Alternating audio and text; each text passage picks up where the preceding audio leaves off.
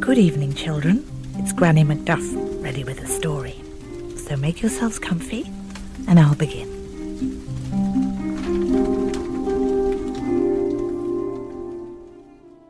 Once upon a time, near the edge of a great forest, lived a woodcutter and his wife with their two children, a boy named Hansel and a girl named Gretel. Although the children called the woman mother, she was in fact not their mother, but their stepmother. The family was very poor and often did not have enough to eat. One night, after Hansel and Gretel had gone to bed, the woodcutter and his wife talked about their troubles. The woodcutter sighed and said, What will become of us? We do not have enough for ourselves, let alone our poor children. Husband, I know what must be done, said his wife. Tomorrow at dawn we will take the children into the forest to where the trees are thickest. We will light a fire and give each one a piece of bread. Then we will leave them to go do our work, and we shall not return. They will not be able to find their way home, and we shall be free of them. No, wife, I will not do that, said the man. I could never leave my children alone in the forest for beasts to come and tear apart. Oh, you are a fool! If you refuse, then you should begin to prepare four coffins, for we shall all four certainly starve to death. The woman gave her husband no peace all night until he consented to her plan, but warned her, You shall do it alone. I could not bear to take it upon myself. What the woodcutter and his wife did not know was that the children had not been asleep at all and heard every word of their plan. Gretel began to weep bitter tears as she listened and said to her brother, Surely it's all over for us now. Hush, Hansel told his sister. Dry your tears. By morning, I will have a plan of my own. Once the house was quiet, Hansel got up, put on his coat, and crept outside. The moon was shining. The white pebbles that lay in front of the house glistened like new silver money. Hansel filled his pockets with as many of the stones as he could fit. Once he was finished, he went back into the house and whispered to his sleeping sister Sleep in peace, dear sister. God will not forsake us. Take comfort. Just before the sun began to rise, the woman woke the children, saying, Wake up, you lazy things. We must go to the forest to gather wood for the fire. Once the children were ready, their stepmother handed them each a piece of bread. She told them, This is for your dinner. Do not eat it before, for you will get nothing else.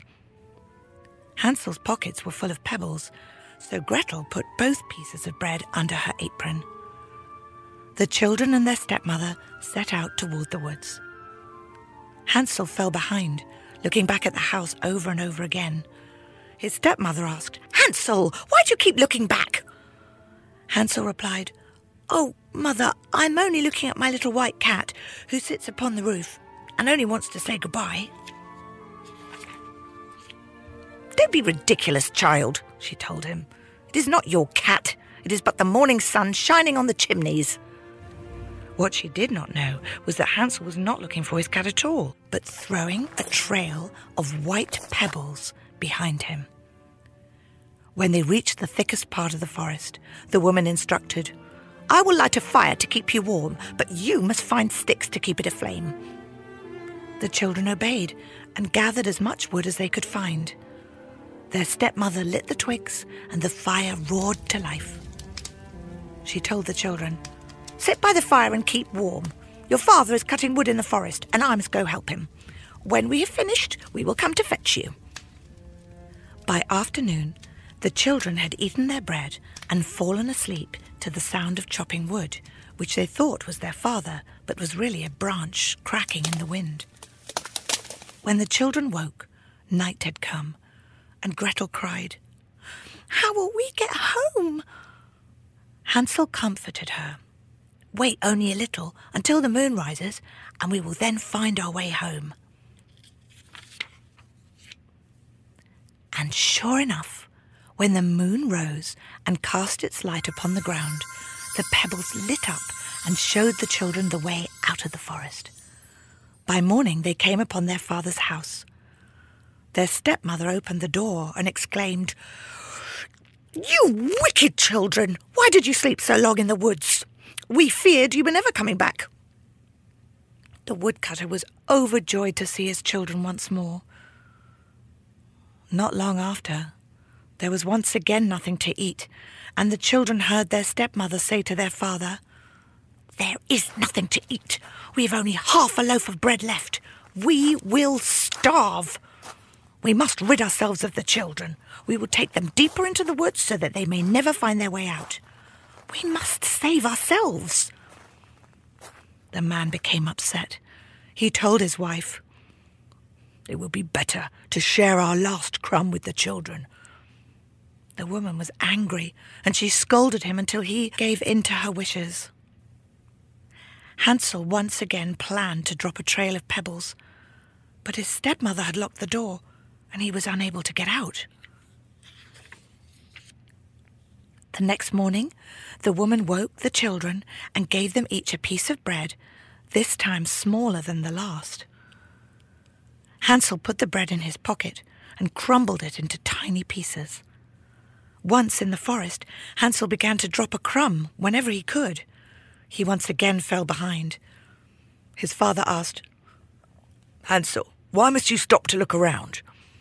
The boy replied, Because, father, my little pigeon is on the roof and wants to say goodbye. His stepmother yelled, You simpleton! That is but the morning light shining on the roof. Keep up!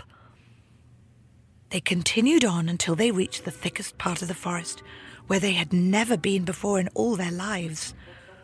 They gathered twigs and sticks and lit another fire. The mother instructed Hansel and Gretel Sit here and rest a while. We are going to cut wood, and when we have finished, we will come and fetch you. When midday arrived, Gretel shared her piece of bread with Hansel, as his was scattered through the forest to show them the way home.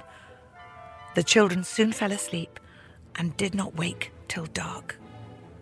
Gretel trembled, but Hansel reassured her. Dear sister, do not fear. When the moon rises, we shall see the trail of crumbs I left, and we shall find our way home. But when the moon did rise, there was no such trail. The crumbs had been picked up and eaten by the many birds that lived in the forest, and thus the children were lost. They searched all night for a way out of the woods, but found no way out. By morning, Hansel and Gretel were very hungry, but had nothing to eat but perhaps some small berries that they picked.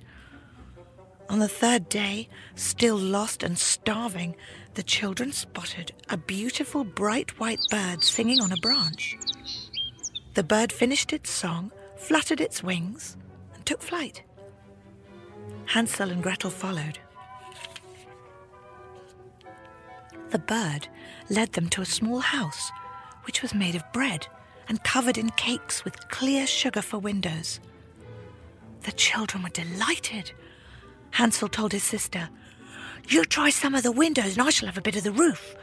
And so the children began to eat pieces of the house and fill their bellies with sweets.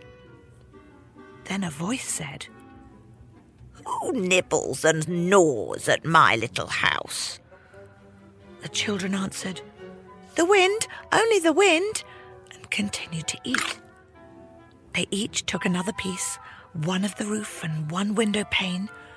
Suddenly the door swung open, and an old lady hobbled outside, leaning on a crutch. The children were so startled that they dropped their food.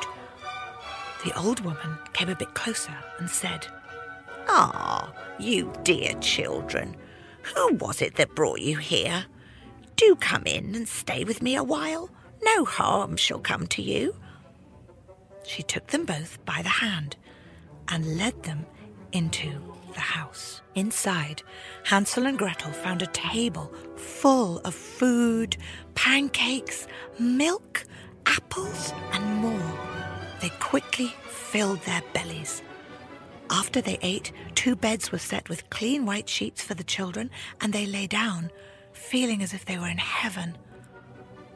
Although the old woman appeared to be kind, she was, in fact, a wicked witch who had built her gingerbread house only to be able to lure children there. Once she had them inside, she would feed them until they were nice and plump, and then she would cook them for dinner. But the witch had weak eyes, like most witches, and could not see very far. The next morning, the witch looked upon the children and said to herself, Oh, what a meal it shall be! Then the witch grabbed Hansel and dragged him into a cage and locked him up. She went back and shook Gretel until she woke and told her, Go and find food to cook for your brother. He must be made nice and plump. Once he is fat, I shall cook him and eat him. Gretel cried in horror, but she had no choice but to do what the evil witch had told her. Hansel was fed the best foods the witch could cook, but Gretel was given nothing but crab shells. Each morning, the witch would go to Hansel and tell him, Stick your finger out, Hansel, so that I may see how fat you have become. But Hansel, knowing the witch could not see very well, stuck a bone through the bars of his cage, and the old witch thought it was his finger. Each time the witch became more and more upset that Hansel was not yet fat. As weeks passed, Hansel only seemed to get thinner. One day the witch's patience had run out. She ordered Gretel, Go and fetch the water from the well. Fat or not, tomorrow morning I shall cook your brother and enjoy my feast. Gretel cried as she drew water from the well. It would have been better to die lost in the woods. Then at least we would have died together. Stop your snivelling, said the witch. There is no point in it. No one will come to help you. The next morning, Gretel was once again forced to fill the cauldron with water and hang it over the fire. Once this was done, the witch said, We will bake bread first. The oven is nice and hot, and the dough is ready. She grabbed Gretel and pulled her close to the oven door. Go inside and see if it's hot enough to bake, said the witch. But Gretel knew that if she obeyed, the old witch would close the door behind her and bake her instead. So the girl replied, But I do not know how to get in through that tiny door. Silly girl. Why, the oven door is large enough even for me. Just watch, I could climb in myself. The old woman pretended to put her head into the oven. And just at that moment, Gretel, with all her might, pushed the witch into the oven, shut the door, and slammed the bolt shut. Gretel ran as quick as she could to her brother and freed Hansel from his cage. Hansel embraced his sister, and then they danced and danced before they went back into the house and found an old chest full of jewels and pearls. Hansel could not contain his joy. These are far better than pebbles, sister, he said as he filled his pockets with as many trinkets as he could fit. Put them all into your pockets. Gretel obeyed and filled her pockets until she could barely stand from the weight of the jewels. Hansel put out his hand. Come, sister, let's leave this evil place. The children walked for hours until they came upon a wide river that had no place to cross. Hansel asked, What will we do, Gretel? The water's too high. The girl looked around. I fear we will be stuck, she said. But just then, she spotted something moving through the trees. A white horse, with a coat so pure it glistened like diamonds in the sunlight, came to the water's edge and took a drink. Look, Gretel cried. Perhaps if we ask her, she will take us across. Hansel followed his sister toward the great steed. Princely horse, please help us poor children cross this water so that we may return home. Will you let us ride on your back? The horse looked up at the children and dropped to her knees so that they may mount. And so the children rode the horse across the great river, and when they arrived, they knew they had been to this part of the forest before. And so they found their way back to their father's house when they reached the clearing, they ran as fast as they could straight through the door and into their father's arms. The poor man had not known one happy hour since he had left his children in the forest. He told the children their wicked stepmother had left and that they never again had anything to fear. And the children agreed. for even hunger would become a stranger as they emptied their pockets of the pearls and precious stones and rejoiced that all sorrow was at an end. And they lived happily ever after. The end. And now it's time to take a deep breath and close our eyes so that we may drift off into a world of our own adventure. Good night, children.